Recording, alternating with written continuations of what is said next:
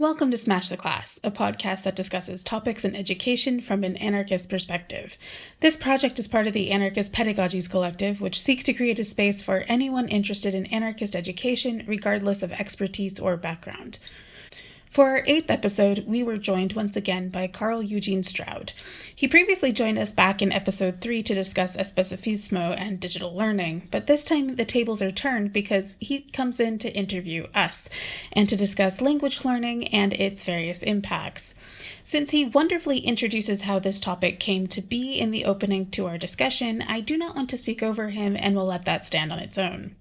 As a reminder, for those who haven't heard Carl speak before, he's a tutor who teaches French, Spanish, and English online to students of different ages who all live in different parts of the world. As for the three of us present, Sonia, Yotam, and myself, Nicole, we are people who all either live in non English speaking environments or who do not speak English as our first language. So, without further ado, here's Carl to start us off.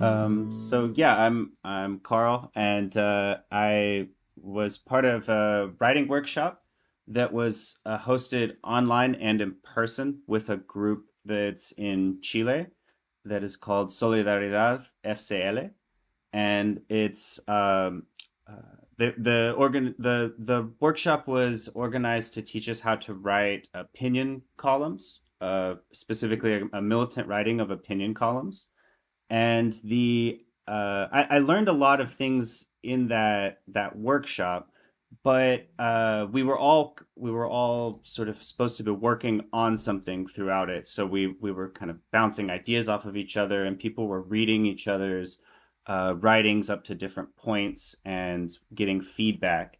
And so i i learned a lot about collective writing and also about uh, how how that feedback is not really like when it when it comes to militant writing that feedback is not actually you know coming at your opinion. It's coming at the task at hand right? And how well the tool is able to accomplish its goals. So one thing I, I really learned that i've been able to convey to a lot of other people in different contexts already and that was part of my own writing in doing this, which which is uh, the writing I did that came out of that workshop, um, is is the idea that there's uh, an intertextual uh, objective and an extratextual objective. So you have a kind of uh, thing you're trying to do with the arguments and the reasoning and and the rhetoric in your writing and you know that relates to making it logical and progress and thinking uh, about um, what order to put it in.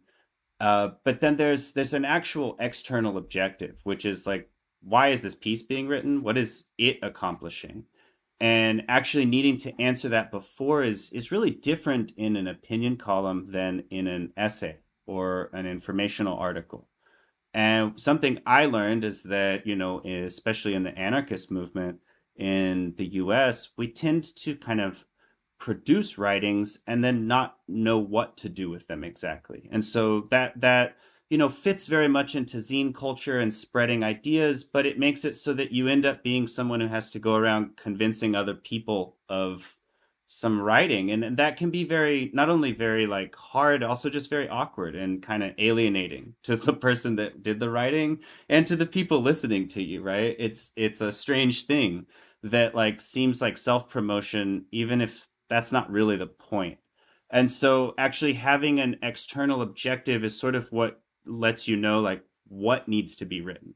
It's not a personal reflection. It's like this this thing is needing to be accomplished in an actual context and a writing to a specific publication or to a website or in this case us doing a podcast is uh there are ways of of accomplishing that task through that writing and making sure that the the text fits to do that. That's something that i learned and uh that's that's yeah like really changed my perspective on what what the point of of engaging with the writing even is to begin with. That that having a good idea on your own is fine but then it actually needs to be an idea about something already happening. It's not it's not actually legitimate to just start from your idea and then go find a place to put it. So um yeah like uh we did this this um kind of sharing stuff along the way and this article that I wrote, which uh, was originally written in Spanish, as the the workshop was in Spanish, and yeah, I mean, I I speak Spanish, I teach Spanish, uh, I do uh, private lessons of French and Spanish and English, uh, but you know, I am also interested in improving my Spanish. I've written a lot less in Spanish, and especially when it comes to militant writing. So I was just interested in engaging with that as some good practice on my own and I ended up learning just a lot about writing in general. And um, but but when it comes to to the uh, the Spanish, uh, my my article was originally written in Spanish, and the result of it was kind of through this method that I was taught uh, through the people in this group, specifically uh, Marcela Morales and Pablo Abufom they uh, were the two militants leading the workshop, and I learned a whole whole lot from them. And uh, I've continued to be in in contact with them and uh, see them as really important uh, mentors in in this experience that I had. Um, so in Spanish, the the column is called Idiomas Secundarios, Frutos del Turismo o Juegos del Celular, which uh, we eventually translated into English as tourism and apps, all you need to learn a language, right? Uh, and so the the process of writing it was already a kind of collective thing through this feedback I was getting. And originally, I thought I was, you know, writing something about um, a situation that it more or less affected people in my local context. And actually, in that uh, writing workshop, the feedback I was getting from people in a whole different place in the world, in a different language, was actually the same thing. Like they, they related a lot to these points I was making. And it, it I realized that like um that was that was part of the objective of this column is that like there are a lot of people who who are experiencing this exact problem and while the uh the solution proposed by my column of just you know corresponding more and talking more with people in other places and in other languages it's not super um, grandiose. I think that it it actually just isn't proposed kind of in that concrete and really just uh, clear uh, terms. And so even the translation that we have here is the result of uh, some of the students that I have uh, are I, I, work a lot with with comrades who are wanting to study other languages, and so uh, with some other anarchists in town, We've been meeting for uh, several months and we study uh, sometimes like short stories, sometimes news articles, and different things like that together. And so we undertook like translating the Spanish into English as a group task. We'd never done anything like that before. And so we learned a lot through doing that as well. Um, those of us participating are at different levels and and everything. And so it allowed us to have a kind of project that everyone sort of took charge of a part of it and we trusted like yeah that paragraph is that person's you know and um, when it's your turn to go through and give an edit what you do we trust what you did you know and that uh, what what's going to come out isn't going to look like any one's thing it's going to look like the thing that says what we think it needs to in that same idea of the original thing um, so yeah, that's kind of uh, the background behind this. And so I wanted to speak to the uh, to, to y'all in particular, to the Anarchist Pedagogies Collective, because I know that the the premise behind this is already international and multilingual. And because of that, it seemed first like the ideal place to send my Spanish article and that when we started discussing like how the conversation around that would work the need for the English translation also became apparent. And so, yeah, like the, the, the dialogue between like the destination for this and how it has shaped has already been kind of uh, coming from lots of places. And this seemed like the ideal platform for that kind of discussion. And uh, so, yeah, I, I'm interested to talk to to y'all about this and hear your perspectives, and maybe, yeah, we can come up with some new ideas or new uh, things to tackle in our local context as well. So I have some questions here, and I'll just go ahead and pose the first one, which is uh, how are internationalism and multilingualism related in theory and in practice? So, uh, yeah, anyone have any ideas on that right off the bat? I kind of tend to see more people using it as a basis of translation. Um, like, obviously, we get a lot of translation of movements, of events, um, but kind of like I also kind of see that there needs to be this expansion, uh, kind of like the expansion of knowledge, but including like our perceptions of people, concepts, places, um, both of these for better or worse, because oftentimes like we might be using language that can be quite harmful and not knowing in what way it can be harmful, whether or not it's like a bigoted concept or if it is one in one place, um, but also not being able to actually get across like a, an idea or even just a, a general concept. So I feel like there is a lot of room between both internationalism um, and multilingualism, or some people also call it plural, plurilingualism. Because there's just like a whole range of different ways of talking about it. Um, but yeah, so that's kind of where I would think a big chunk of it is is not just in translation because I think that's where people's brains automatically go to, but in just being able to um, understand people on their own terms rather than having our terms kind of thrust upon them in order for them to be understood. I think it's important also to, well, when it comes to multilingualism uh, in theory, in the last a couple of decades, everything that it's been done when it comes to research, this has been very focused on the neurological aspect of it.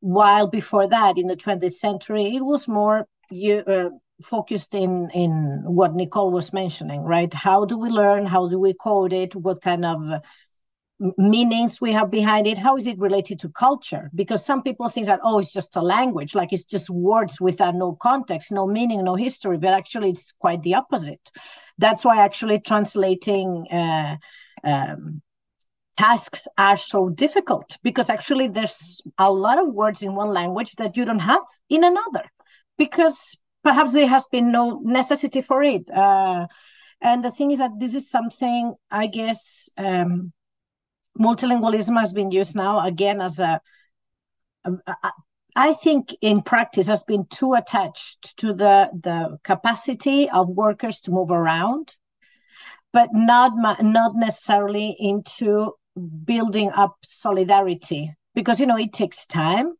Uh, but I think that yeah, it has been instrumentalized in practice in the last yeah 40 years perhaps.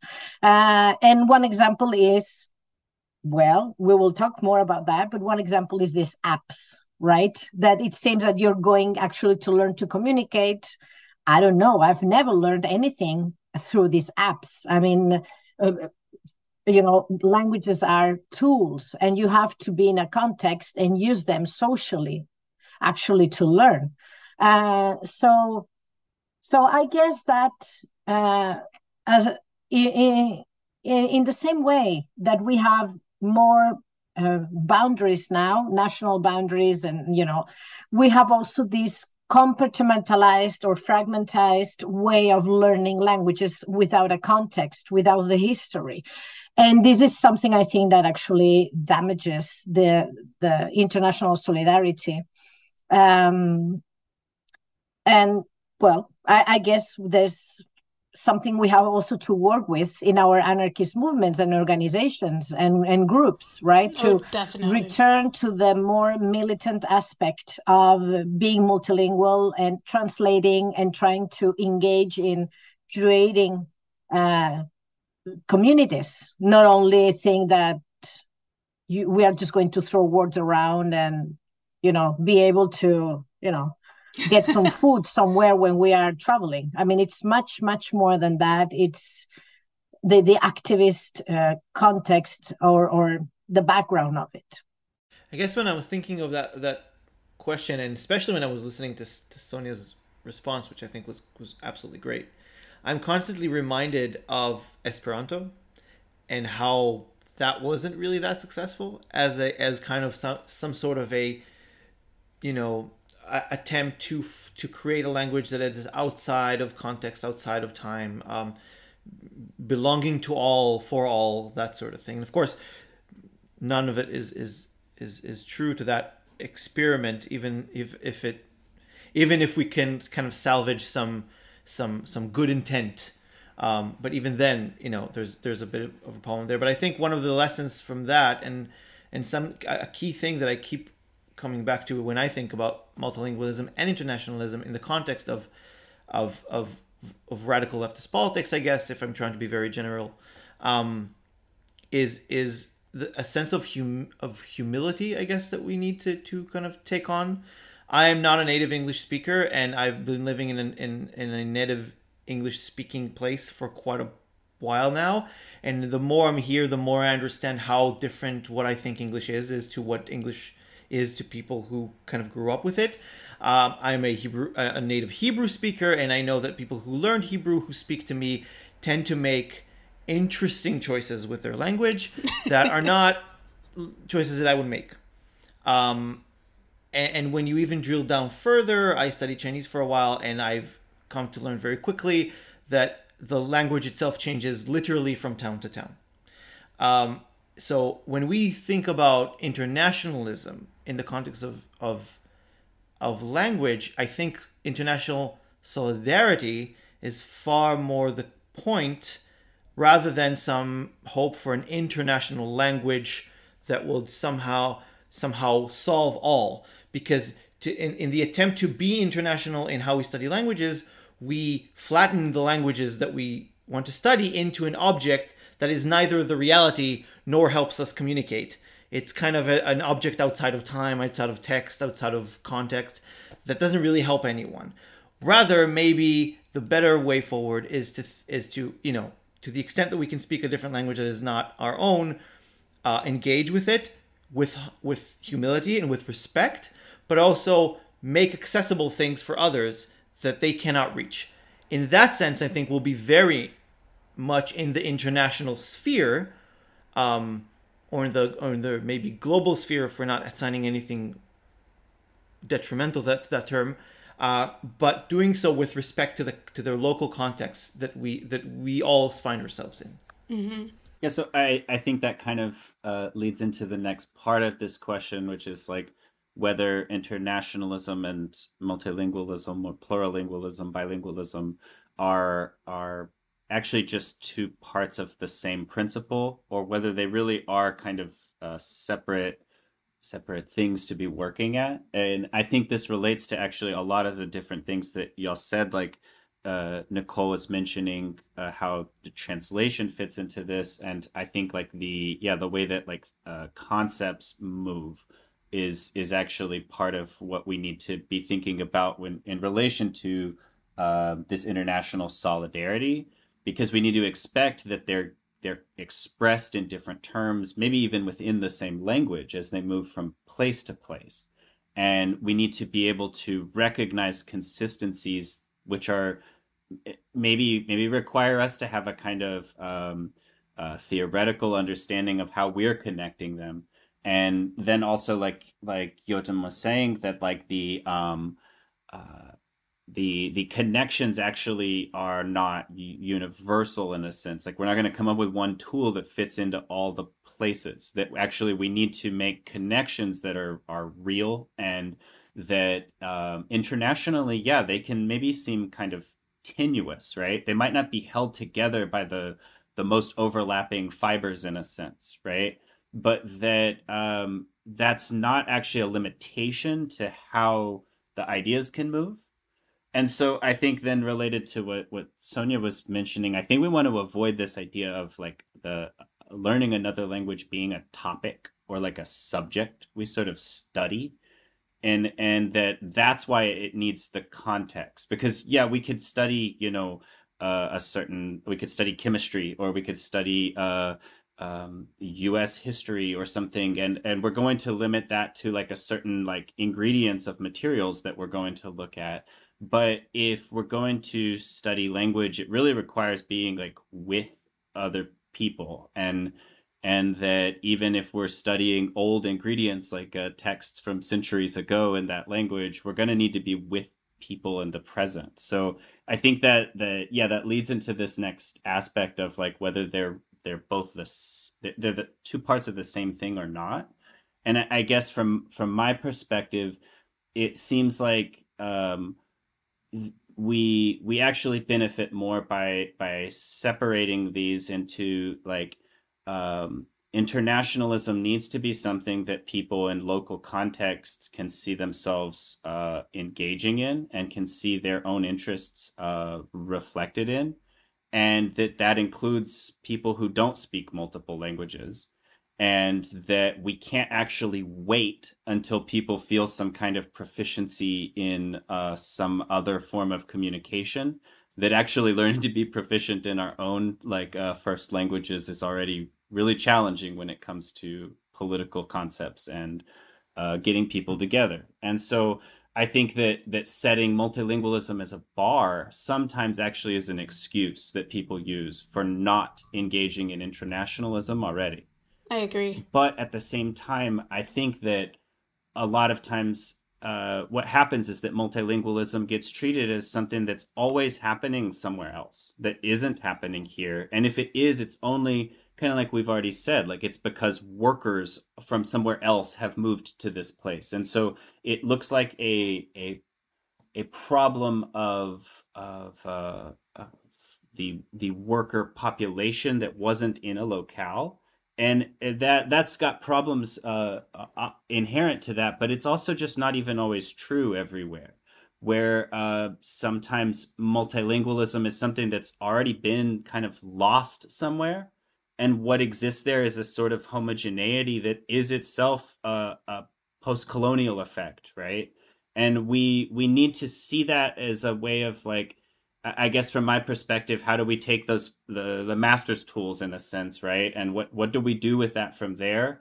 And I, so I think like sometimes we're trying to plant uh, seeds of multilingualism in places that yeah they they maybe don't look like they're supposed to grow anymore. And I think that that's it's different than than the internationalism which we need to start engaging in um, more Im- uh, immediately without like uh, needing to solve such a um, a conundrum, let's say. So yeah, any anyone else have a opinion on that part of this? I think you kind of hit something that I was already thinking about because while you were talking about multilingualism, I think there's also this kind of failure to engage with the fact that some places pushed monolingualism and some places still push monolingualism or maybe they push bi- a supposed bilingualism and then don't recognize um, other languages. So, like in, in, thinking about the pushing for bilingualism, I'm actually kind of thinking of Canada and the fact that it's expected to be French and English, but then you get like one of the indigenous ministers who sadly I don't remember her name, so maybe someone can chime in with that later. Um, but she's bilingual, but not in French. and so like she gets penalized by people for being bilingual in the wrong way. Um, and i find that kind of frustrating. But then also like when you're mentioning this i was thinking of the monolingualism of the united states where it's like um, it was intentionally pushed because it was a way to homogenize the population, it was a way to Americanize the population, and it was a way to remove these kind of cultural markers from people who were migrants from other places. Um, very often, particularly in my own like research of generally like gifted and talented programs and also special education, you tend to find a lot of stuff talking about how they wanted to Americanize the children, particularly of like uh, German speaking families, of Italian speaking families, of Slavic families. and you find this push to force them all to speak English, which kind of decultures them. and so I think there's just a kind of refusal to understand like whenever we're talking about multilingualism as being necessary which i think it is necessary and very useful but i don't think it's necessary in the productive sense. Um, i think it's just necessary because that's how the world should work is that people should have access to being multilingual and it should be simple. But like in this push we tend to put multilingualism on this pedestal of being a kind of capitalist enterprise of being only for people who need it, whatever need means. And it typically is like, is it necessary for work? Um, or is it necessary for study? So there is kind of that. But something else is also like this promotion of acceptable languages. so I'm also kind of stuck at like thinking about how, like, where I live, I live in Slovakia. Um, before the like fall of the USSR, children in public schools were taught Russian. and um, my students, most of whom tend to be Slovak and most of whom tend to be adults who kind of lived through this, uh, they often will tell me stories about how they were in school.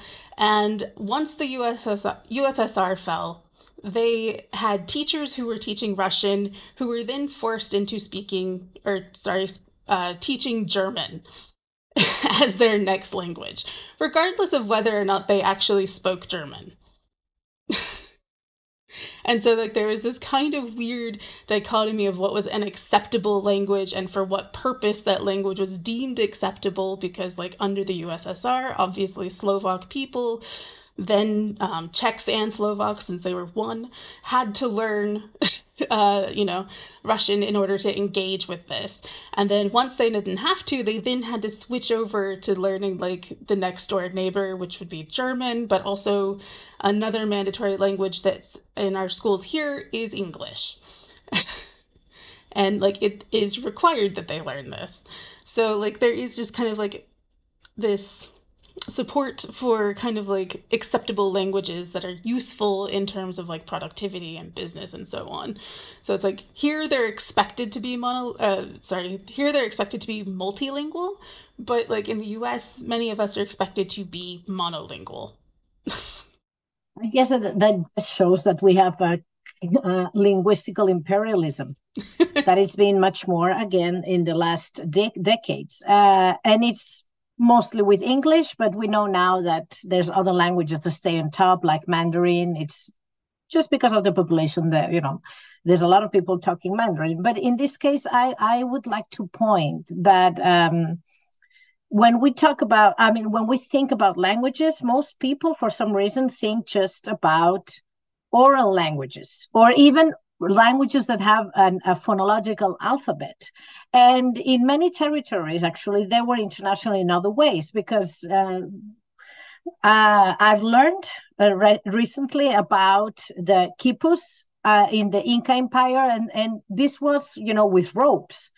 They made knots and that's the way they communicated because the Inca Empire was so big, and I'm sure that it was not just people talking Quechua in this case, but they were you know in touch with many other languages um, and th- but this was like kind of an international code system. Uh, they didn't have anything written in the way we know from the european or western uh, tradition but they used these ropes like an international way of doing it. As much as uh, in the us in the plains they had the plain hand talk uh, so you know um, among several uh, tribes and indigenous groups, they used hand talk because orally speaking, they you know they didn't have that much in common.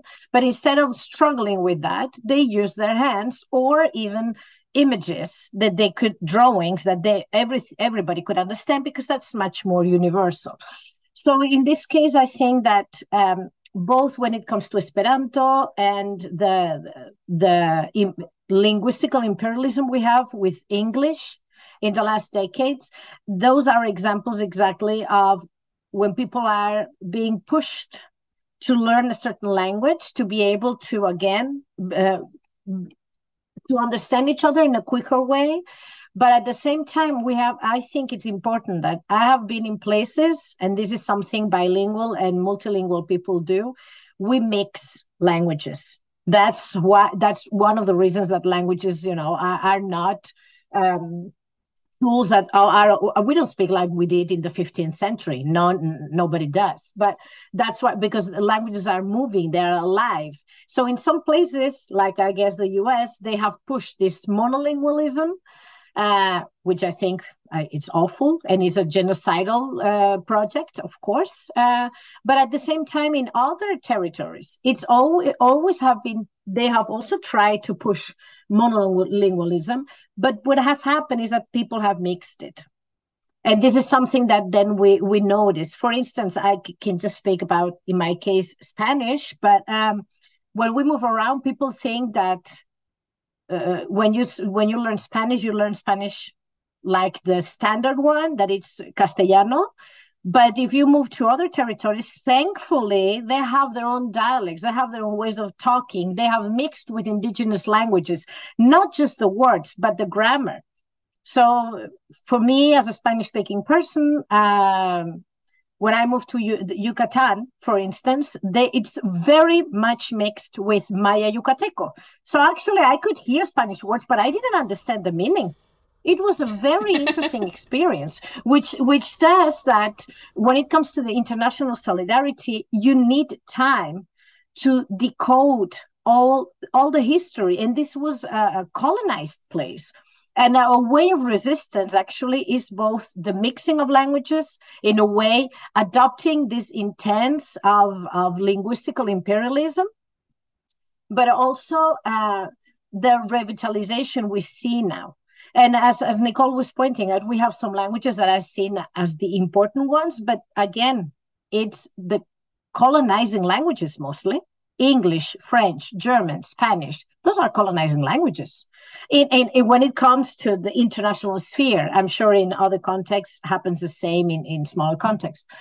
But you see, I, uh, especially being immigrants, a lot of us, uh, our own uh, mother tongues or our own uh, first languages are not um, they are not valued in the same way. And this is something as anarchists i think we also have to be aware of right? If uh, I, am sure that if we living in colonized lands or occupied lands if we are going to learn some languages we really need to think about what are the most oppressed languages how are we going to revitalize them how are we going to join that linguistical resistance? And this comes both when it comes to indigenous languages but also languages that belongs to to ethnic minorities or even the disabled communities. Like the, the, sign languages everywhere or even braille like the alphabet. You see it's written but it's another way of communicating. So when i, I think multilingualism i think anarchists should think about communication. And we communicate in a lot of different ways, not just with our mouths. I hope that this is clear. so, so, so actually, this is a wonderful way to that that we can actually grow this diversity that both colonialism and imperialism have tried to kill the last 500 years, but also again that it strengthens the internationalism. I think right. We can still use other tools that are not oral to communicate and and grow uh, this solidarity among us. I, I have I just have two comments um, that that I think might be might add a little bit to, to this discussion. One is um, I, in, in in listening to Sonia, I was reminded of the Chinook language that indigenous people of the northern west coast, I guess. So northern U.S. and into Canada and to Alaska have kind of developed amongst themselves um, that is different from their own First Nation language uh, that they've developed solely for kind of international communication. Um, I think Canada today refers to it as a trade language, um, which it has been used for trade for sure, but it but it's from what I know at least has been yet another example of this kind of attempt to create another language uh, and has been successful for thousands of years until colonists did what colonists do um, in, in, in creating communication across cultures, across social groups, across um, First Nations. That's one thing. Another thing that I think uh, maybe creates undue complication here, but I think it's still interesting and relevant, especially for English speakers, is to recognize how our, our own anarchist and so and radical socialist theory has been influenced by language blindness. And I'm reminded here of Kenyon Zimmer's work. Uh, his book is called Immigrants Against the State, where he shows that in the US, a lot of the anarchist um, texts and theories that we associate with the anarchist movement in the US has been um, the, the, the, the, the scholarly um, literature at least has ignored immensely Yiddish, German, and Italian anarchists who, who spoke and read and wrote in Yiddish, Italian, and German in the US and in Canada. And it's actually there that the majority of the conversation around anarchism and radical socialism has happened in the um, 19th and, early, and 20th century. And, and that really opened my, my eyes to how complicated um, this kind of conversation on languages is in the context of anarchism and how uh, biased a lot of people who are interested in anarchism generally just really have a good a, a, a good-hearted interest how biased their their interpretations might be because they just don't see that language bias. And I, and if you even go a step further we can talk about yiddish which was again a very important language in in writing anarchism in the 20th century. And that is at least grammatically ancient hebrew with german and russian and also some polish and a little bit of lithuanian. And and and you get into a whole mess of of languages grammars and and and and, and real internet international uh, connections that are embedded in the language that, that, that we speak. So I think that's really important for us to also kind of as people who ascribe to certain anarchist principles to also look take a good look at ourselves and how we understand ideas around us and why where we read them why we read them in those places and how might biases and those kinds of things affect how we understand uh, the concepts that we use i'd also just point to the fact that like in the US, at least, there are a number of places that have Yiddish in um, in their English. So, like in the Midwest, we often use a lot of Yiddish phrases, and many people don't even recognize this. And even though we're doing that, like we're still overlooking it completely. oh yeah, Yiddish is is really embedded in in contemporary English in many ways. That, and I oftentimes go. Uh, excuse me. this is. Uh, yeah, definitely. It, that it makes me think about how um, one thing that happens with in the U.S. is that, uh, and and I mean, I have a tendency maybe to just uh, accuse all Anglophones of this around the world, but like what definitely happens in the U.S. is that people engage with uh, a translation, and that there's nothing wrong with engaging with a translation but one thing that happens is the actual work of of even doing the translating is also lost in this. No one recognizes the work of translators as being part of this and so like not only is the the kind of respect for the origin of those ideas and the way that they articulated it lost but the actual work done to help communicate that to the, to other people is lost and it's sort of just not only assumed in a very privileged way and entitled way it's also like a way of not seeing the actual like diversity that is there. Like and, and assuming diversity is a kind of thing to establish or create or instill when like i think that that's that's one of the effects of of that kind of homogeneity is like we we sort of see uh, a flatness of things that are not actually as flat as they they maybe appear and um but but I, I know that there's some some maybe strong languages and I think we or some some strong opinions about this and I think that we uh, have have touched on this a little bit. So relating to the the idea of these these kinds of uh, tools for being between languages or for communicating um, uh, in spite of these these differences or like uh, efforts to overcome them like what are what are the opinions uh, that y'all have around uh, things like esperanto?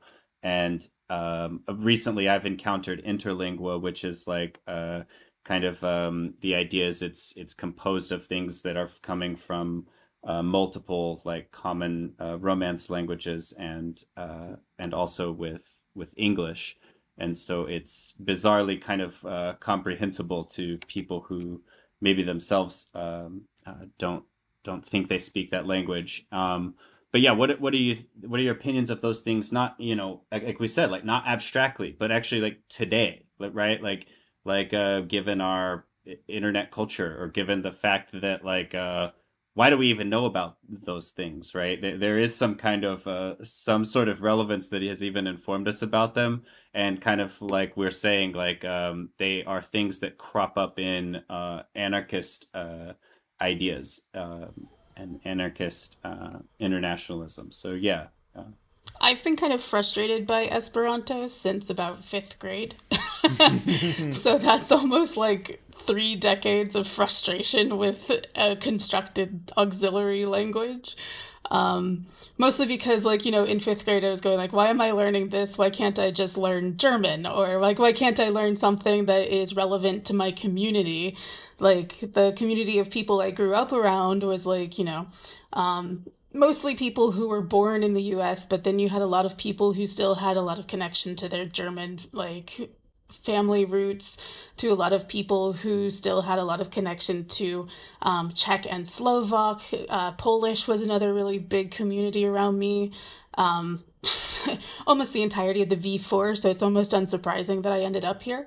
Uh, but like, I found it really frustrating that we could not actually engage with things that people were genuinely using. Um, like or sign language. Like why couldn't we have done like american sign language in my fifth grade class? Like why were we learning esperanto so, like i've literally just been so frustrated by esperanto since i was in fifth grade.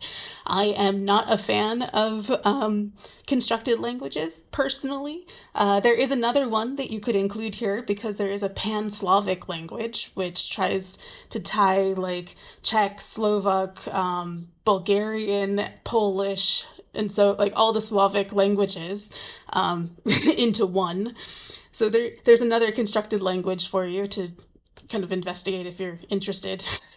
but I've always just found them kind of frustrating because it's kind of this way of removing things from a context and trying to make them like I have no problem with making things intelligible, but I do struggle with the idea of making them intelligible on someone else's terms. Like, I think it's very frustrating to not engage with what little I can find of like the Slovak and Czech anarchist movements, um, like historically, and you know, do this and be like, well, I'm going to do this through a constructed language. That makes it, you know, easier and more intelligible rather than actually engaging with the Czech anarchists or the Slovak anarchists or even the Polish anarchists. Like, I find it very frustrating that we're not engaging with them on their terms. and um, it kind of reminds me of like a book I read that I absolutely love. It's not anarchist at all, but it is this book called Midnight Robber. And it's written in a Jamaican dialect. And so, for me, who did not grow up with a Jamaican dialect at all, or did not grow up with like Jamaican Creole at all, it was a very big learning curve in the first couple chapters. But once I started getting into it, it started like, you know, it was communicating itself to me. Like, I had to understand that book on its own terms. and I kind of appreciate that. So, like, if someone were to put that back into standard American English, I think I'd be really frustrated. but I also feel like I'd be equally as annoyed if they put it into Esperanto. I'd probably be more annoyed, honestly. Can I break the order? so, um, yeah, I've so you know I'm not I'm I'm in no way expert on the history of Esperanto, and I've tried to learn it for about a week and then just decided it was a, just not useful in any way and moved on to the next thing. Um, but I my impression has always been that to the extent that you can reach a language that is kind of encompassing of the globe, I guess, you can do that by either forcing it on someone, which English is a good example of that, or by trying to create something artificial.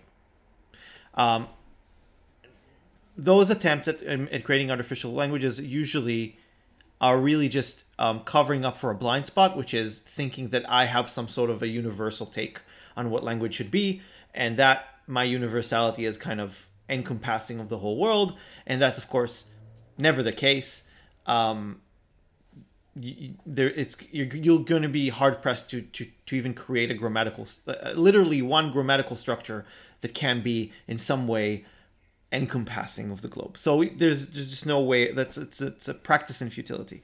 Uh, but even if you were able to do that, and and I return here to the example of English, the moment that you um, force language on a region, that region is going to fight back, and it's going to fight back not only by protecting its own indigenous languages, but also by changing your language, changing your language dr- dramatically.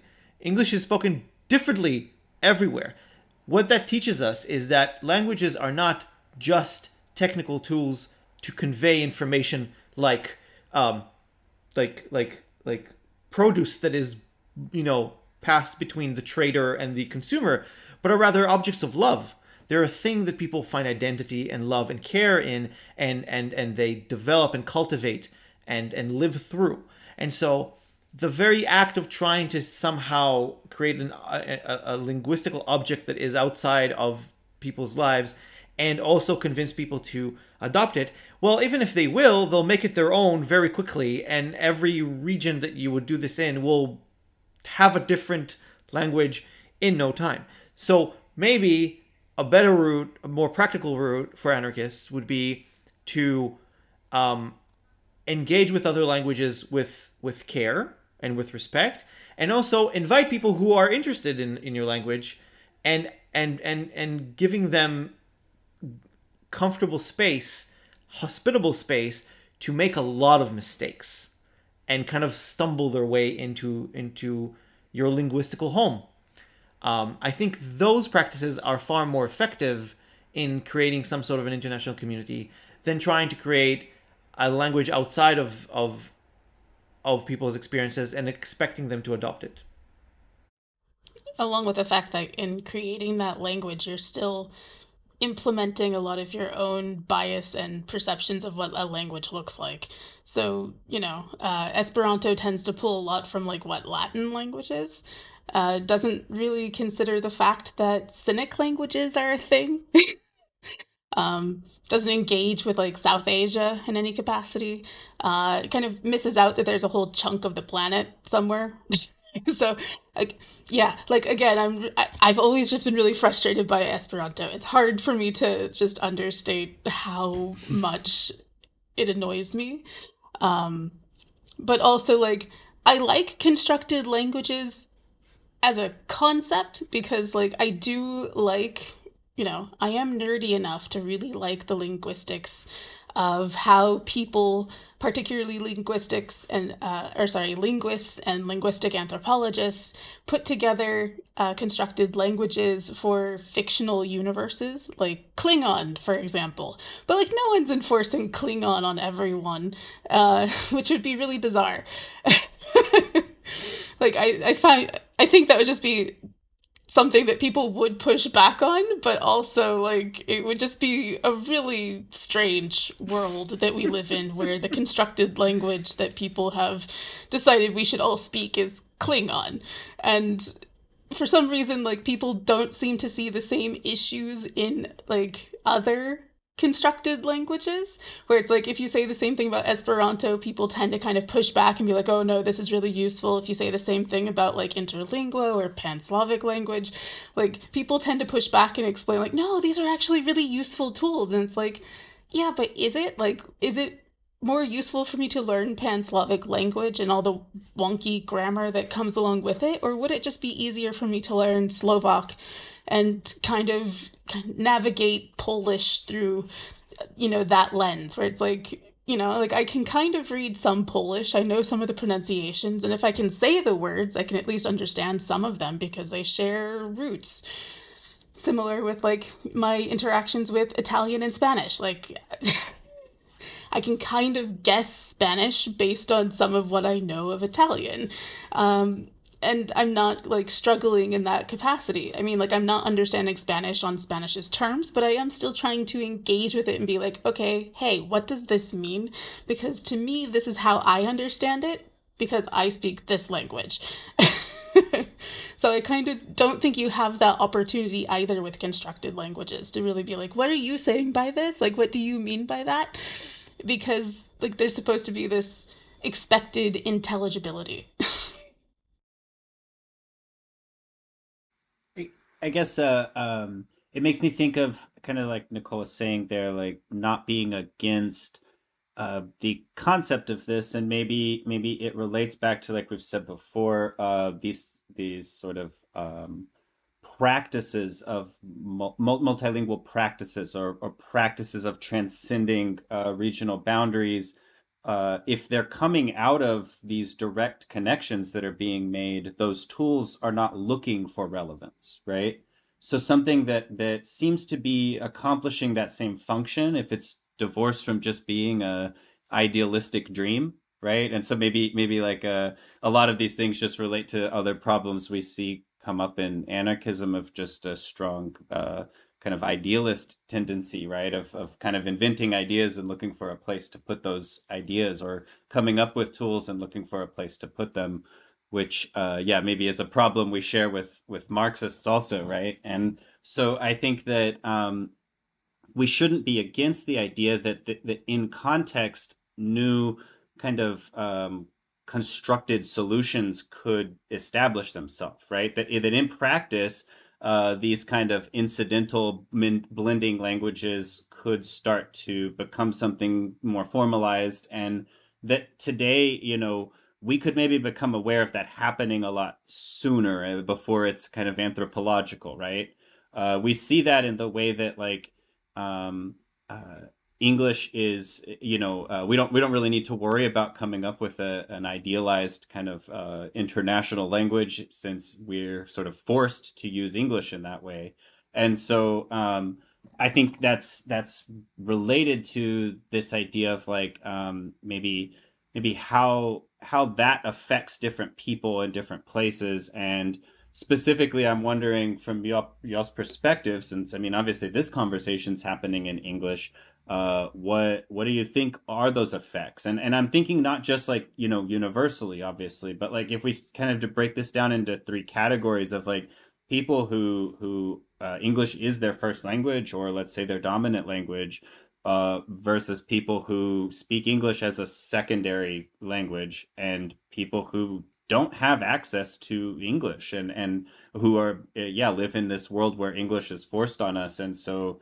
they're uh, sort of uh, separate from that that whole experience. Um, if y'all have any reflections or or thoughts or yeah, even personal takes on that, I'd be really interested. I guess I get to be the weird one as the um the one person out of the three of us whose first language is English. because like you know, it's like when I first left the United States, or rather, when I first left the Anglophone world, because when I first left the US, I ended up in Australia, and guess what? they also speak English.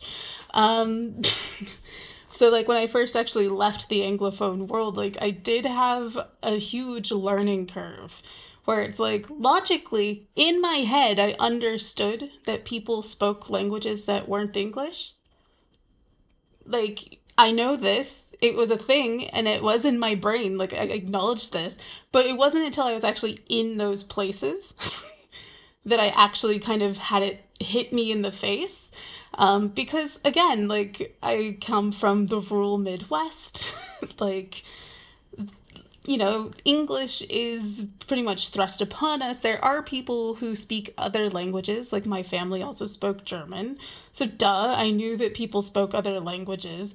But the way that the US presents other countries is that everyone will speak English. Like when you hear about them, when you see their presentation in the media, they are never really engaging with people who speak whatever language is local to those places they are almost always engaging with someone who speaks English. And so you kind of get barraged with media that tells you that the world will speak English. No matter where you go, you will speak English and everyone will talk to you in English. So even though like logically in my brain I knew people did not speak English, like it was kind of like a wake up call at the same time.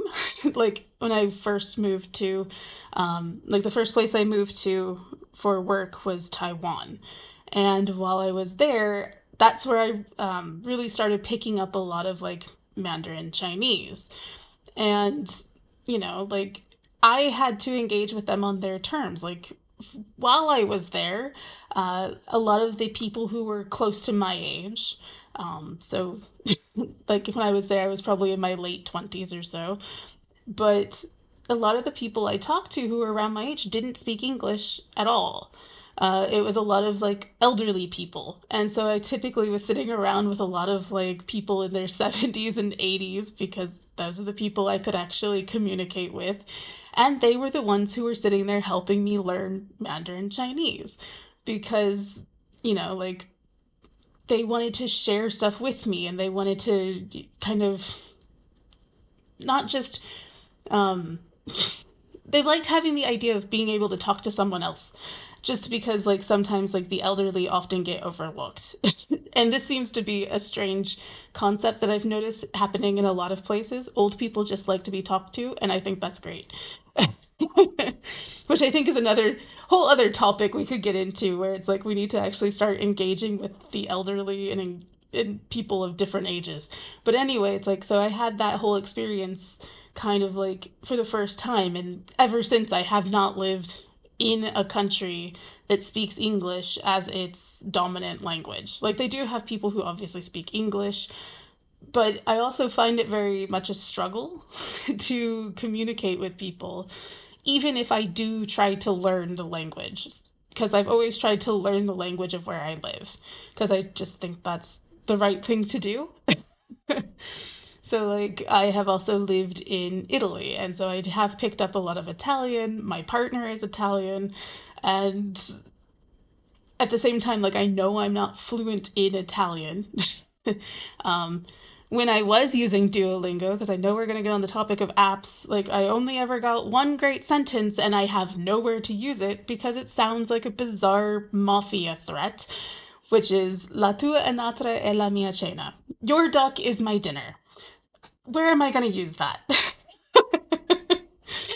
and so, like, even though I would try to communicate with people in Italian, not using that sentence, because obviously I'm not going to go to the local bar or cafe or whatever and just try to use that on the person waiting on me.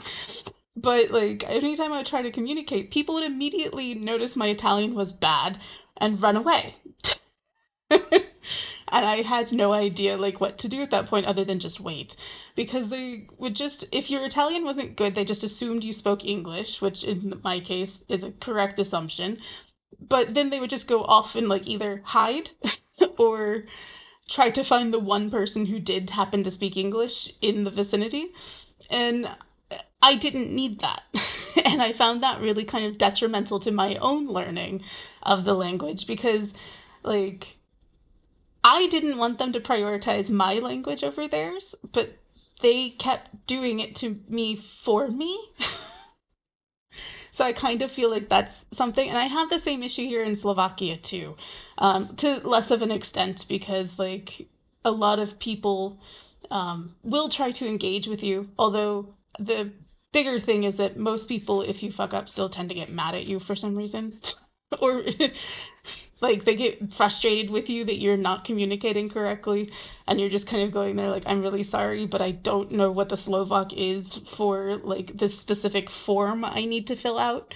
Like so i do kind of feel that like as a person whose first language is english a lot of people assume that i don't want to engage with the language because i they expect like I was taught, that I should expect that everyone speaks English.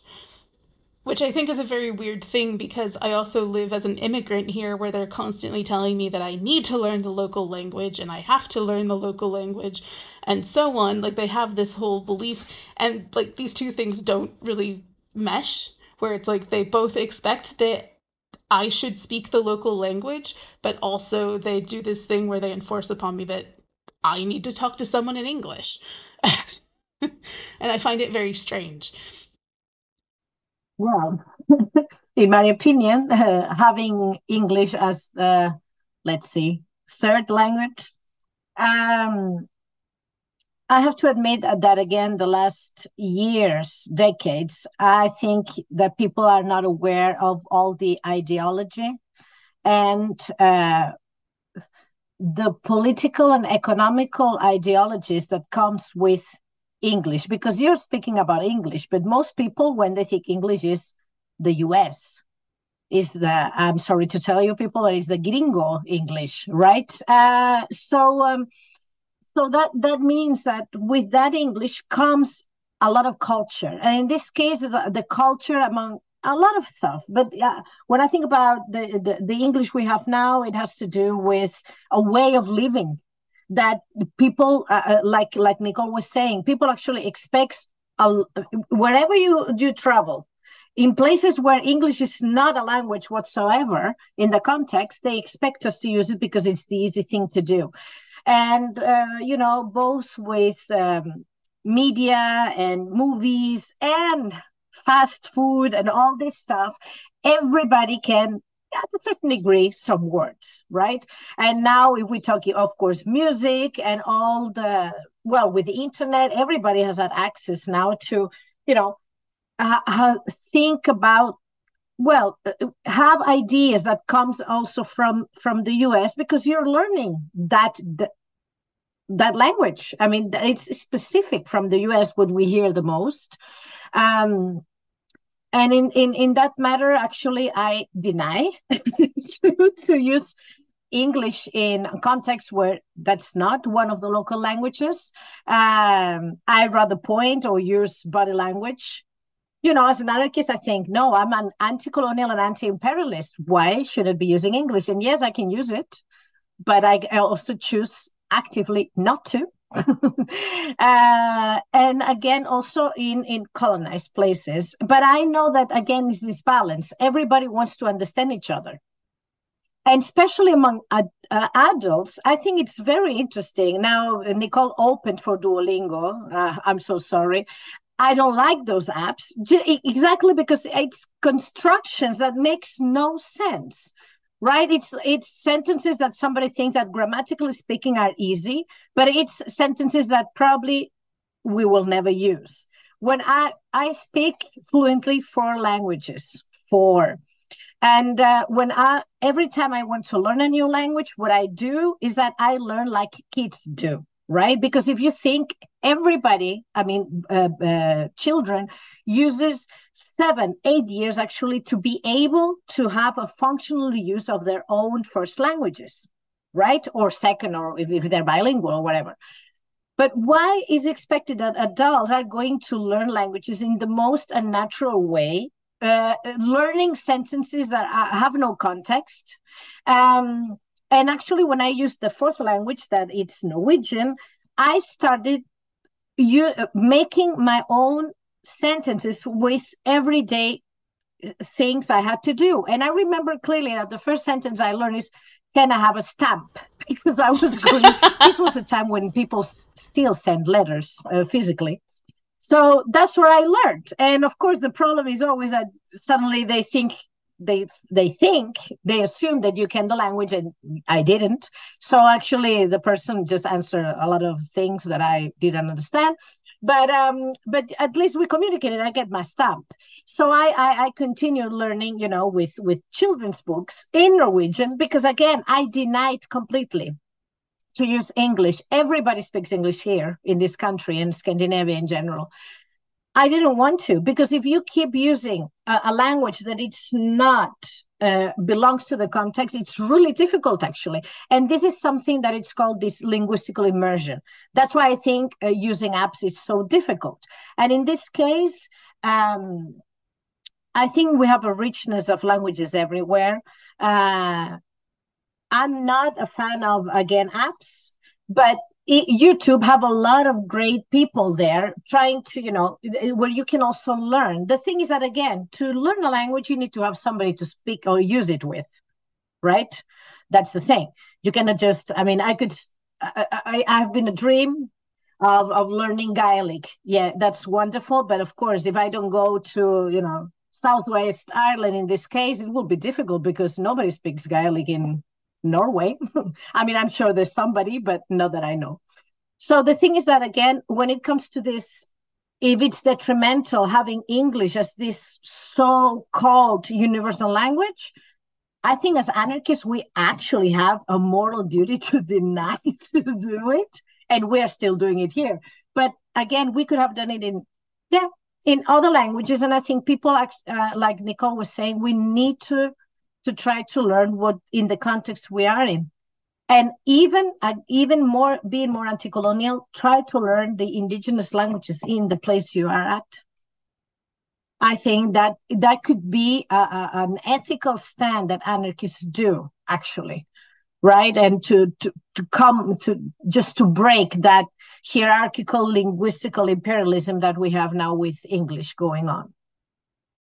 My take is much more uh, feelings based, which is I say this quite a lot to native English speakers that I engage with daily because I'm in in a primarily English speaking space right now in in West Canada. Um, I am not myself when I speak English. I am not. You are right now talking to a version of myself that is vastly different in in in demeanor, in tone, in vocabulary. Um, there's always going, and th- that's never going to change. There's always going to be a distance between myself and the person who speaks English in an English speaking context um, there is an otherness that is embedded in the practice of going to another language because my my native language is embedded in my identity. And there are things that i just cannot translate. It's not only terminology that i that sometimes is very difficult if not impossible to really understand um, but even the sound of letters that i find different. So I've practiced for many years to develop this quasi West Coast um, accent that I use now. But oftentimes we have this little game that we play where someone asks me if I can speak with a, with a Hebrew accent, if I can speak English with a Hebrew accent, and I can, but it takes a lot of work because I've conditioned myself not to do it anymore. but if I speak to you now in a Hebrew accent, it is very very different, right? It was very different because letters sound differently. Now, I understand that this now, right now, feels closer to a native English speaker, but it's further away from me. It is a dis- it is a step outside of myself that I have to take in order to be in an English speaking world. Um, I think it is important to notice these things. I think it's important to understand the kinds of sacrifices. I, it might be a too harsh of a word, but maybe sacrifices that not non-native speakers have to make in order to engage with you, you being the native speaker, in order to be with you in the conversation. I think it's it's as an ethic of care is something that maybe we should think more um, deeply about. I, think that um, so so from from all of your comments, I have sort of some different things to to reply. But to start with what what uh, you were saying right there, I think that um, there, you know, maybe to share share my own sort of emotional experience. Um, I sort of feel kind of lost in between all of them, where I don't uh, like. Yeah, I get what you're saying. Like you're not there in the English, but like I, I feel not there in the English. Like so much of my experiences, so much of my knowledge is not in English, and I cannot share it with the people I'm closest to. And that that doesn't just mean like, oh, it's in this other language, and that's like I, I in this weird way, like yeah, it I I it, it relates back to what we were saying before with the internationalism and the multilingualism. Like internationalism feels like like my home. It doesn't feel like a principle. It is just a fact of my life because even to the people I'm closest to, I'm the most like uh um like uh, foreign thing that they encounter you know because i'm not not foreign from another place but i am formed by things from other places and and that yeah in the same way maybe anarchists can relate to being the only anarchist in a space or something i think a lot of times like uh, if you are the only multilingual person in a space you become a kind of parlor trick uh, just uh, someone who's supposed to perform this thing. And like do this like uh um like fulfill this myth that people have of like how you just go from one thing to the other. So i can really relate to what you're saying there but also like i don't feel like i know where to find the other part of it. And so multilingualism also feels like um and and this relates to what what sonia was saying before. I actually have a pretty hard time blending the languages. Uh i'm a lot more comfortable if we can just pick one and we can we can deal with that one i'll make whatever mistakes or I'll, I'll deal with that. I, I have a hard time switching all the time and that uh, I'm pretty comfortable with whatever conversation it is in the three languages that I speak. But like, I'd rather just know, okay, that's what we're going to speak and we're not going to jump around. I have a really hard time with that. And I think that that relates to, um, uh, again to sort of share my personal experience i don't find you know um, duolingo and other apps like that are obviously flawed but from my experience as a as someone who spoke english first um, kind of like we are like I, and i think this is what nicole was saying too like and we mentioned this earlier things seem kind of flat. So they seem flat from your home but even when you go other places and you expect like this will have to be different things have flattened that space for you and people are willing to collapse it right in front of you to make it as homogenous as it's it's like we're all part of it in this way. And so even when you assume you're encountering innocent bystanders this same reproduction of this like uh, mass uh, uh, dominant culture reproduces itself. And so like um, my experience of not exactly Duolingo, because I, I definitely learned languages before these apps existed. So using, you know, other kinds of grammar worksheets and stuff like that, I actually learned a lot from how English is is really expression based and that grammar has very little to do with it and that actually learning a lot of grammar to help me understand other languages was enormously helpful and learning kind of structural patterns from that actually taught me a lot back about English that no one had ever taught me about English. And that actually it kind of as you know, I've lived longer being multilingual. It seems just like actually we don't know a lot about English, right? People do English, but people who speak it don't know as much about it. And this goes back again to the internationalism is I think also it helps us to learn more about our own first languages or our own dominant languages by having other people communicate to us with them. Because we don't always see them. We can't encounter them in that way. And that maybe that's you know um, to kind of move into just yeah um, uh, the full conversation about duolingo here maybe something that could easily be overlooked by these is actually the sort of dabbling um, and the the sort of um, just clicking on a language to do it for a couple of days and that I am very, you know, I discount that to a in a big way. I, I hate this sort of uh, general. Uh, I'm just into languages and I don't ever actually learn how to talk to anyone. Um, but at the same time, I think for a kind of you know gaining a multifaceted perspective, maybe there is something to that. That like actually being able to encounter even a really fakely fabricated sentence in another language um, it, it shows us things about uh, ourselves that maybe we it's a it's a kind of mirror in a way that we we maybe uh, are are also using nowadays. Um, so that that kind of yeah to open up the question around like um, why you think these things uh, these things like Duolingo are so popular and what your own experiences are and or what you've heard from other people who've tried to use them um, like i mean i'm i'm a language teacher so obviously like almost all of my students have you know used some form of these apps uh, I say Duolingo because that's what I reference in the in the column, and you know that's the one that's kind of most popular everywhere. And again, like it's kind of when I was uh, uh, in the writing workshop and we're speaking in Spanish, I encounter people having this exact same experience uh, trying to learn English, who are native Spanish speakers and seeing the limitations of Duolingo. So I think that in a weird way, technology has forced itself to be this intermediary between almost wherever you're starting and wherever you're trying to go. And so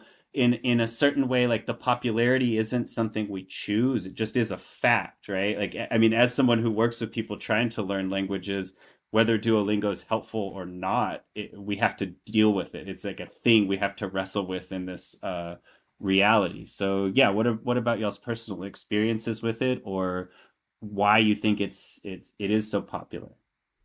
I'm just gonna go back a little bit because when you were talking about how learning other languages helped you understand English more, I had the same thing. Even though I grew up speaking German, so like I kind of grew up speaking English and German together even though I grew up speaking that, I ended up kind of cheating my way through high school and taking German classes so I would get easy A's. And in those classes, I was learning like German grammar, like directly learning German grammar for the first time. So, like, I had already kind of had the German grammar in my head because my grandparents had been teaching me German as a small kid. And so I already kind of knew it, but like, I didn't know why we did stuff like that.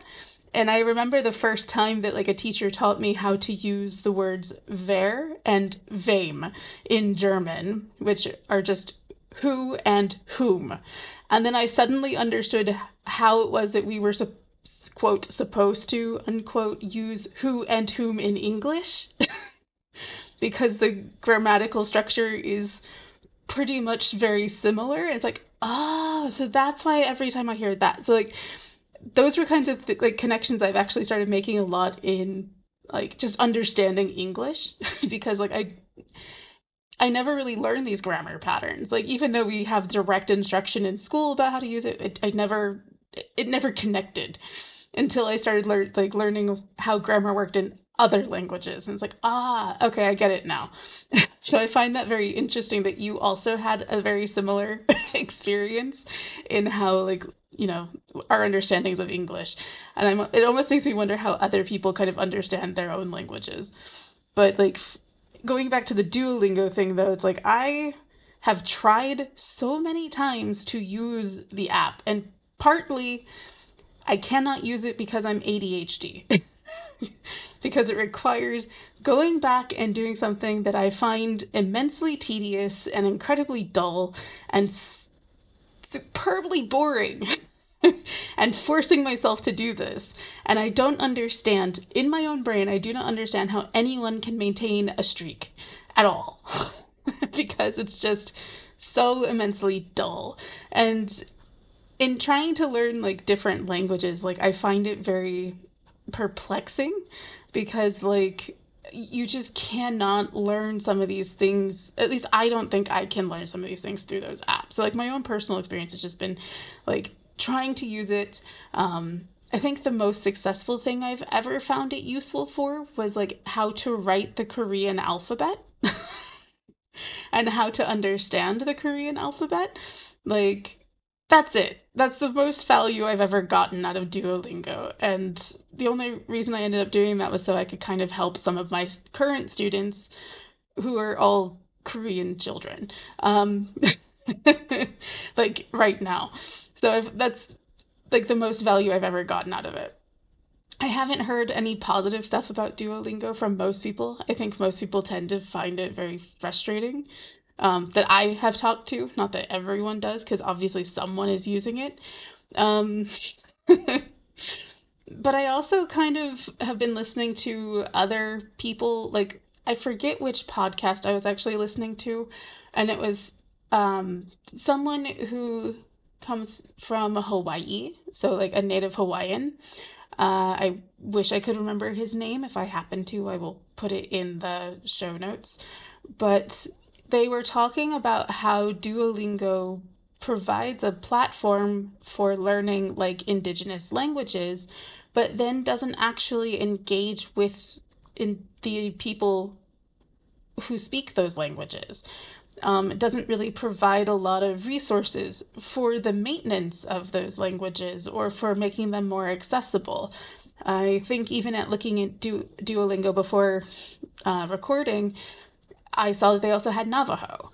And it makes me wonder how much support they give to Navajo people or any Native Hawaiians, which I know they also have a Native Hawaiian course, but it's like, how much support do they actually give to these communities to maintain these? And who gets to access those? And that was a really big key part that that podcast was talking about, which was like, who is actually accessing this? Is it the people who want to maintain and retain or relearn their like language, like their cultural language? or is it people who are on the outside? And it's like they they said that like people on the outside, it's not inherently a bad thing. Like they don't mind, but if it's only people on the outside who have access to these tools, who have access to these resources, or who are benefiting from providing these courses, because some of these courses do come with payments because they do have ads and they do run um, like subscription models. And it's like who is benefiting from it? And so that's another question that i often kind of stop to ask especially after having heard that because like it was something that you know duolingo kind of presents itself as a community of languages as a place where there are lots of spaces for people to learn different languages and to promote different ones but another thing to consider is the fact that they still don't even have like other languages that are real on the platform. like they are happily putting High Valyrian on there. Uh, again, to mention Klingon, Klingon is on the platform. And while I have no issue with these like fictional constructed languages, I find it really immensely frustrating that they aren't providing the same kind of resources to putting actual languages on the platform. like, there is Czech, but there is no Slovak.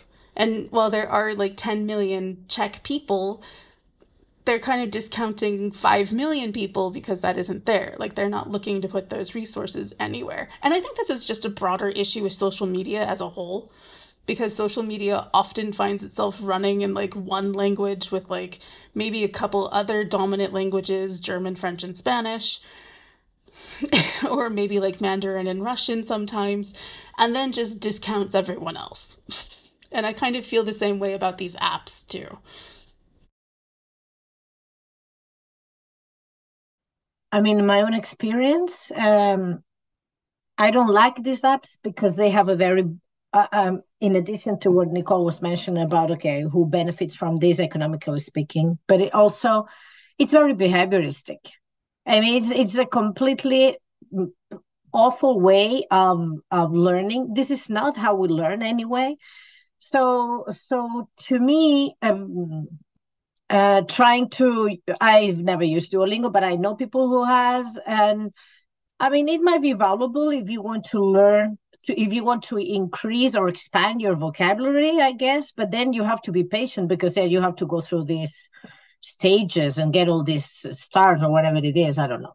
It makes no sense. Uh, that's why i think that uh, it's it's so narrow the the value it has actually to to be able not again not to just learn a language but the culture that sustains it it's gone the context is gone uh, and you're just you know actually it, it's a, a, little bit like a parrot i mean you are you are repeating certain sentences and that's it i mean what are you going to do with it and i think as an anarchist uh, I, I I deny to think that grammatically speaking, the sentences you get are especially anti-capitalist.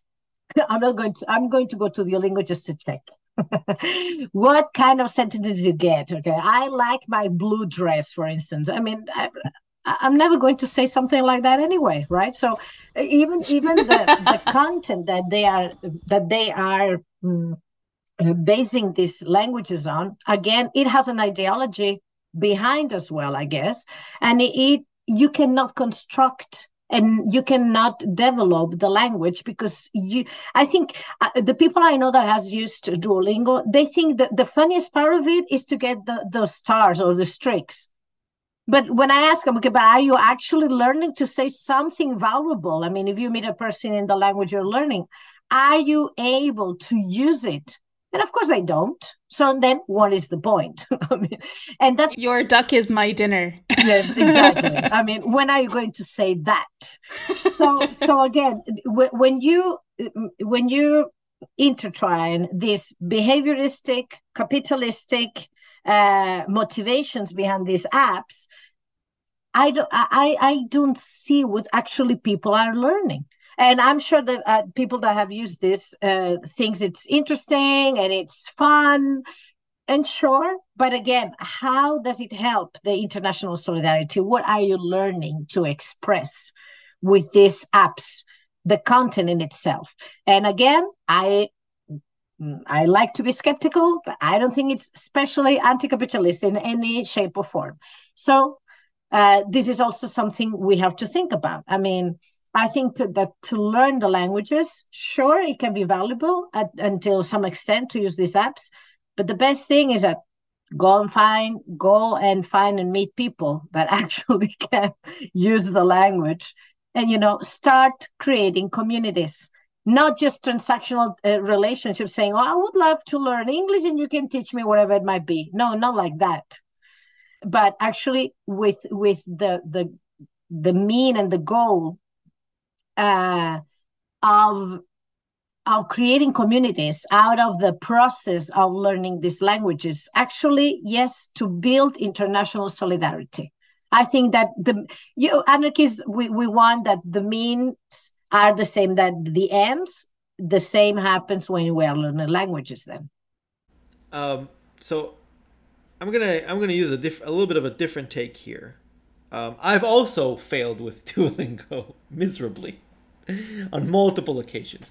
I tried to um, learn German from scratch. I tried to improve my uh, Mandarin skills, and I've also tried Yiddish, and have made uh, have I'm I'm gone zero out of three. I've failed miserably on all three, and I've not been able to um, maintain the streak.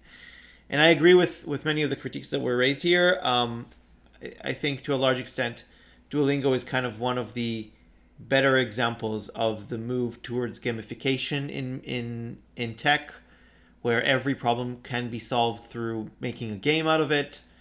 And well you know that's not the case. But my kind of hot take here i guess or lukewarm take here is that duolingo in its has has has and other apps of that of that genre um, are attempting to respond to a very important problem in language learning, which I think, Carl, it was actually represented in a way in the tech in your text, which is what kind of gatekeeping is associated with language learning.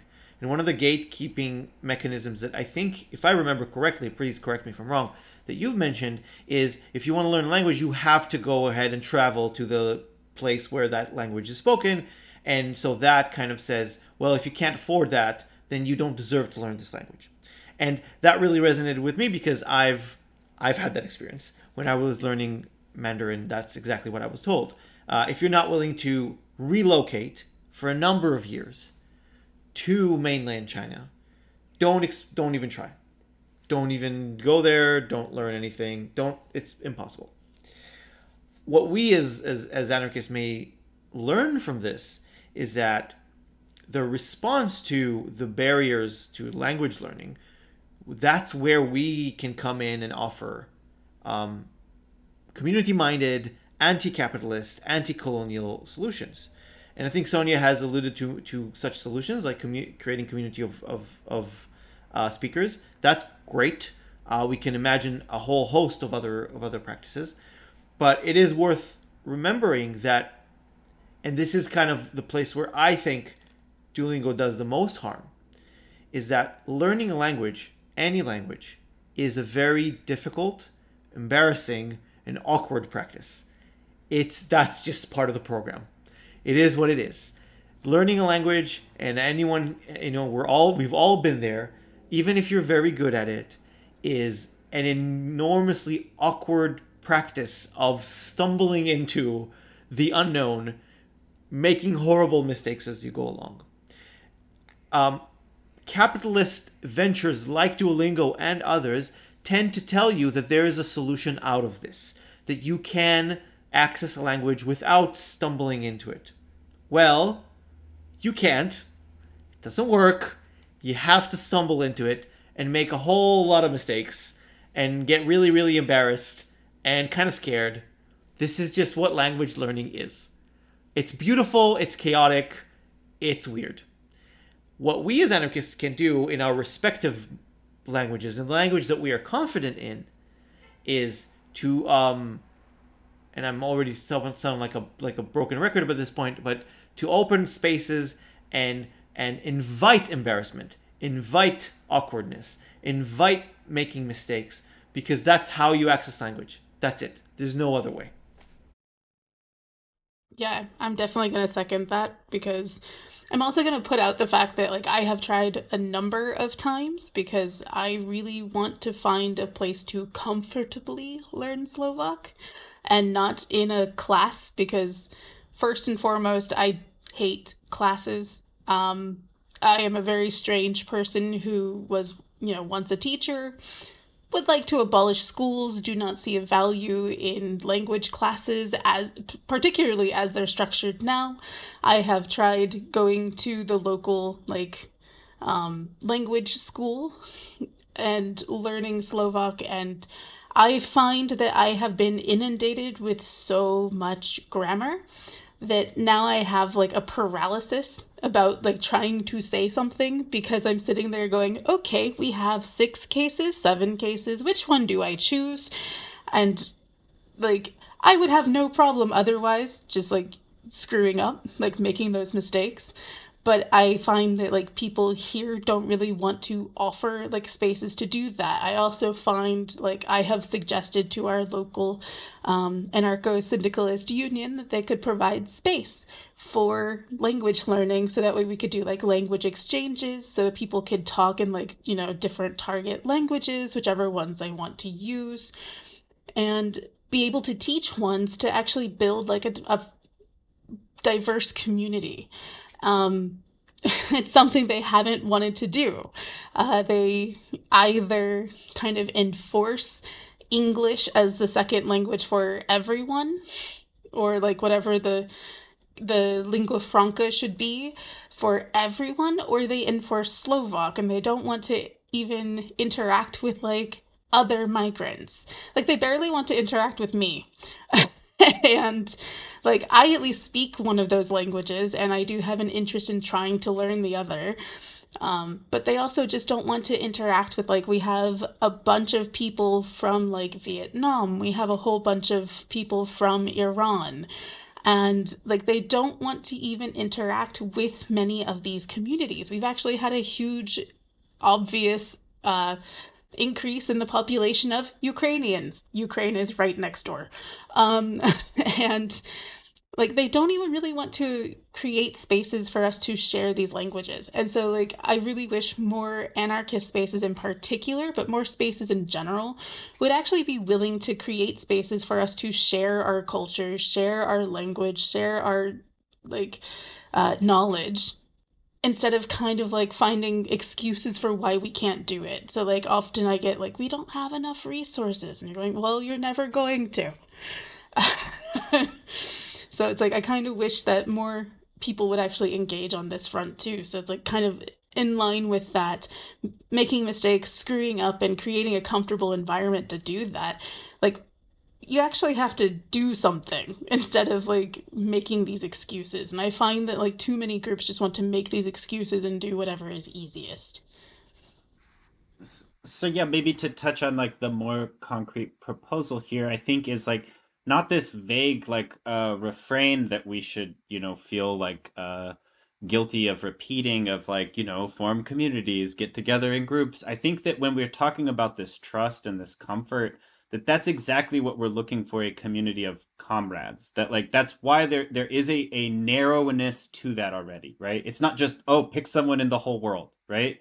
It's like no pick someone who has these same values right? Who shares certain aspects of what you're working toward and what your objectives are and you can start from that basis of trust to be what the comfort is right? Nicole reminded me of something really important that i encountered because uh, i teach mostly online is that uh and and you know I definitely encountered this before in the past a lot more than nowadays but like people will will they really like to act like uh there's nothing you can learn via the computer or or through uh the internet and we need to remember that like there's nothing perfect or magical about classrooms right? The same way that like so you know uh yeah like my experience with duolingo is is like i said not so much from my own learning but from my students. And you know first just like as far as the bad things go everything everyone said I, I echo all of that. But on top of it i really really really hate the podcast because it produces this weird back and forth where it says something in the other language and then goes back to english just to make you feel just comfortable enough. And so right when you're about to build that awkward like experience it breaks it and gives you like a reprise. And that it, it does that in exactly this way that's not pushing anybody to do anything. And so um but but at the same time like i i think that uh what it's done is because it is inherently flawed like we've talked about and what i'm talking about in the piece is that it's flawed in the same way that just going somewhere is flawed, right? If you just decide you're going to go somewhere and that's how you're going to learn, you're also going to realize like that's a pretty like uh, naive uh, expectation, right? So in the sense that they're both flawed in the way that like okay, uh, someone's going to that place, we'll work on your multilingualism when you get back, right? Like uh, that's that's great that you're going on that trip or like once you realize like okay you're gonna need to work extra and not just simply like uh, uh, when you get there, it'll be magic and it'll happen. uh, yeah, maybe we'll work online then, right? I think I need to just jump in just because, like, one of the things in your piece, and you said something about like how tourists aren't uh i can't remember exactly what the phrasing is um but like there was a thing about how like tourists are not having an authentic experience of a place and i was kind of sitting here like as someone who uh often is forced to engage with expatriates, and I hate that term so much. Um, that's why I always call myself an immigrant. that is the community of which I identify with and who I hold solidarity with. I do not give a shit about expatriates, um, to put it nicely. But those people also like they are immersed in the culture and i think it's also even you can take it farther than just tourists like it's completely debatable whether or not these expats are even immersed at all because they often um, refuse to interact with local schools. They refuse like to send their children to local schools. They send their children to international schools which are usually in english. Um, they often are you know, embassy kids who generally have an expectation that the world is built around them and which means that their family also usually works for like these big organizations the un all the different embassies and whatnot and so it's like I think it's interesting that you focused on tourism or kind of using tourism as that thing. I'm sitting here like the whole time I was reading going, expats! Expats are a prime example of people who can be and should be immersed and they refuse it. Like they actively refuse to engage with anything around them. Yeah, I think I think that that's uh, um, maybe maybe like in my thinking, I was just uh, kind of considering them longer term tourists, you know, um, and and so um, yeah, tourists in a in a, a, very general use of the word, visitors in a, in a foreign land. Um, but like like if if we can see that that the the apps are flawed and that you're not going to learn from that, but that at the same time, this expectation that we've talked about that's been created by this capitalist system to like be catered to when you want to learn, or that like like we've said also like kind of meeting that demand that's obviously there, right? People want to do that, and this seems like the tool. And not only does it seem like the tool, it is the tool they know about, right? So my experience with them is that I encounter students who just already are using them right and and that i don't actually get to come in as a very helpful like um like participant in their learning if all i kind of can say is don't right so what what i've tried and and again like kind of where my my own like um uh like I don't know if you want to call it disenchantedness because it's not like I was ever allured by them to begin with. But like what I find difficult is that, you know, in a lot of ways, uh, what I've expected to be able to do is to tell students, like, okay, go play with it. It's not going to be that useful for a longer term thing, but it might spark ideas, right? So if you could come up with questions that you're forming from what you saw there, we could use that as a jumping off point. Because, like, uh, pedagogically, that makes a lot of sense to me.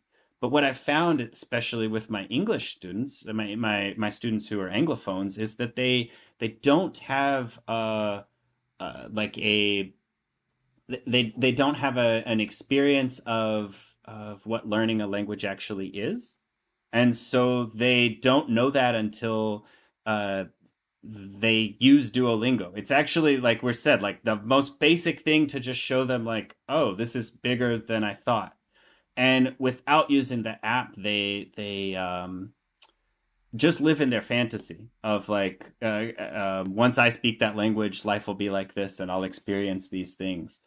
Um so also along along the idea of like maybe maybe something to do with these apps is the same thing to do with the uh, uh, traveling is to be the first mistake maybe someone actually kind of makes on the process of figuring out how to learn the language. And that in that way it's a very inconsequential first step uh, and yeah it doesn't uh, in any way guarantee anything from anyone but that um, it does cue that curiosity from someone right? It's very very common for people to talk to each other about their duolingo experiences. And if we don't figure out as anarchists how to engage with that and yeah encourage something that becomes more anti-capitalist and more uh, organically and collectively like formed and organized then i think we are missing an opportunity especially as you know multilingual and internationally engaged uh, uh, anarchists because i think that that um, there there's something to how like you can't just go somewhere else like like um, i also experienced you know not having the the money to maybe travel somewhere else. But at the same time like uh i very proud and and I, I like to be able to be uh someone who can show people like that's not what what teaches you how to do those things right? It, it is the communication and that um you don't need to wait for that that that this kind of waiting is is not uh, necessary. And i also think that the the apps work in that way where um, in the same way as everything else online right? It, it promises a lot more than it's going to deliver. But if we could learn to like uh, uh, use that excitement to keep moving into something else so that there is an international movement of learning these languages. Like I said, when I was in that workshop, I was there for my own language practice, but I also encountered other people who were like, wow, I've experienced that same thing. And, and that was very surprising to me. I sort of, you know, uh, yeah, naively didn't really consider how how much Duolingo was being used from other uh, angles, which is which is yeah bizarre anyway because you know we've talked about the languages that are available. If you change your language you, for your app, it'll list different languages. So like you can learn Catalan from uh, Castellano, but you can't learn Catalan from English. And so uh, there's there's all kinds of weird paths that go through the technology in that way. And so I think that we need to acknowledge how Duolingo and these other apps have put themselves in the way, but that it's also through us kind of figuring out the contours or maybe the ways to crack that apart the ways to steal pieces from it and expropriate them other places. It's through that i think that we could we could start to make them more useful to us. And that yeah in the meantime like we don't need fancy apps to you know send emails to each other right? And and that um it is very scary to communicate with someone in another language but mm-hmm. that's actually the thing to get used to is is less the the perfectness. Like some grammar structures are great some words are great but in practice like you're going to make the mistakes. And actually there's an argument maybe to be made for how that's why we feel comfortable in our dominant languages is that we don't even notice our mistakes right so it, it feels like we're we're doing a great job but yeah again like maybe it's other people who've who've learned that thing from another perspective who see the mistakes we're making maybe not in our grammar or our language per se, but in the way we're expressing our ideas or in the the yeah kind of uh, sentiments that those the, the connotations that are attached to that. I think there's also a bit of like classism kind of related to this too, where even just within English by itself, um, because I know I've already said it, but I'm from the rural Midwest.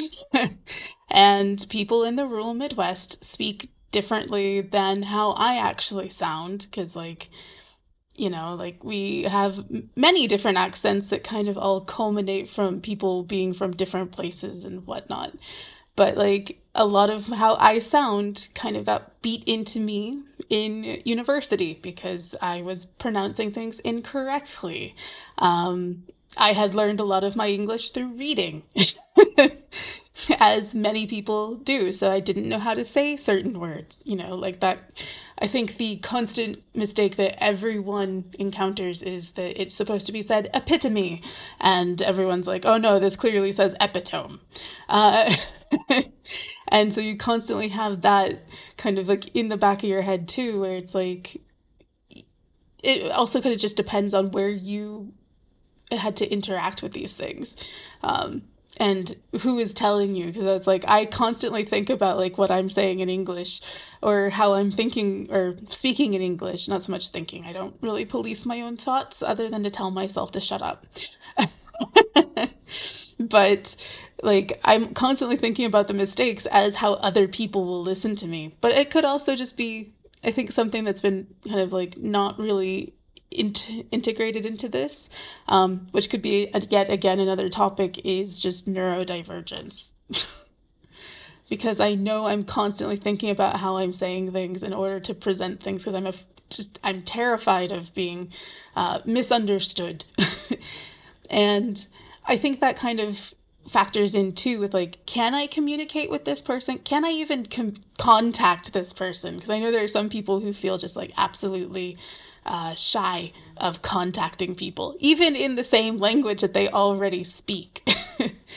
Where it's like, this is something that I've literally had to teach myself, and I re- I think this is something that again another conversation probably is going to be needed for that one um, just because like we do need to discuss like how it is okay to actually contact other people because for some reason we have developed this kind of weird culture attitude belief somewhere that it's like we're going to inconvenience someone or we're going to get in their way or I don't know what. it depends on I guess what you have been taught. Um, I think that the that it's from the multilingualism that we can learn to overcome that, right? That maybe that is the the domain where we can start to to innovate those practices. Because there's a different motivation for it that's not just like, oh, I have this problem, I need to get over it.